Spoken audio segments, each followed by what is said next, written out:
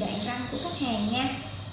Khách hàng của chúng ta là à, anh à, Vũ Đức Thuận. Anh à, sinh năm 1961 và anh là Việt Kiều Đức ha. Và anh đã tin tưởng lựa chọn nha khoa Paris để mà cắm implant và phục hình răng sứ nha. Dạ xin chào bác ạ. Xin chào các bạn. Dạ bác ơi bác có thể chia sẻ tình trạng của khách hàng trước à, khi mà hôm nay Thì đây là trước khi là bệnh nhân đã cắm implant ở nha khoa Paris. Thì hôm nay là tới giai đoạn phục hình Thì sau đó sĩ đã gắn abutment vô. Abutment vô. Cho sau giai đoạn lấy dấu nhé Mình sẽ gắn abutment cả các răng. Dạ. Thì răng đây là hai răng implant các bạn Mình có thể quay trực tiếp cho các bạn nhìn nhé Đây là các bạn nhé Dạ, đó là răng 46, 47 mọi người ha. Đây là hai cái răng mà bệnh nhân trước đây là đã cắm uh, implant ở nha khoa Paris rồi. Và hôm nay là bệnh nhân đã tiến hành phục hình sứ trên implant nha các Bạn nhìn thấy nhé Nhìn thấy có gương nhỏ của mình nhé để quay cho các bạn nhìn này, tất cả các răng của bệnh nhân. Để sau khi gắn. Cũng như nó rất là đẹp và phục hình hoàn thiện. Giống như răng thật của mình vậy Đấy. Đấy thì sau khi gắn này mình sẽ hỏi bệnh nhân trực tiếp nhé Sau khi ăn nhai nhé Đây, ừ. Đây các bạn nhìn răng nhé Răng đây là răng trên im lên nhé Đây, đây là răng trên im lên.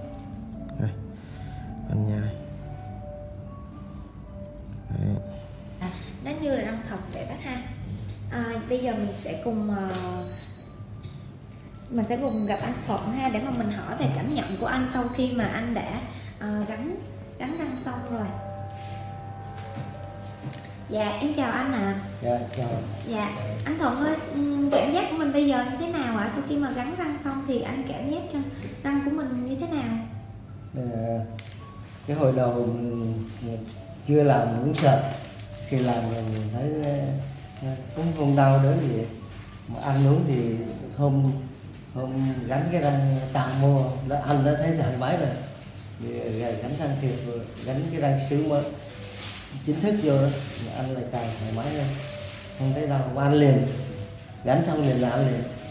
Dạ, không, không kiêng cữ gì. Cái cảm giác của mình ăn uống nó giống như răng thật không anh ha? có nó cảm giác giác ờ, như răng thật thấy mình cũng tự tự tin Dạ, trong quá trình làm thì là anh có cảm giác là ờ, nó khó chịu hay là nó đau quá không? Hay là... hồi chưa làm mình sợ nên là khi làm mình thấy không có gì đau Ờ, rất là, là bình thường Dạ, bác sĩ làm cũng rất là nhẹ nhàng đúng không ạ? làm rất là nhẹ nhàng Ừ. Dạ vâng không có đau gì Dạ rồi, em xin cảm ơn anh ạ.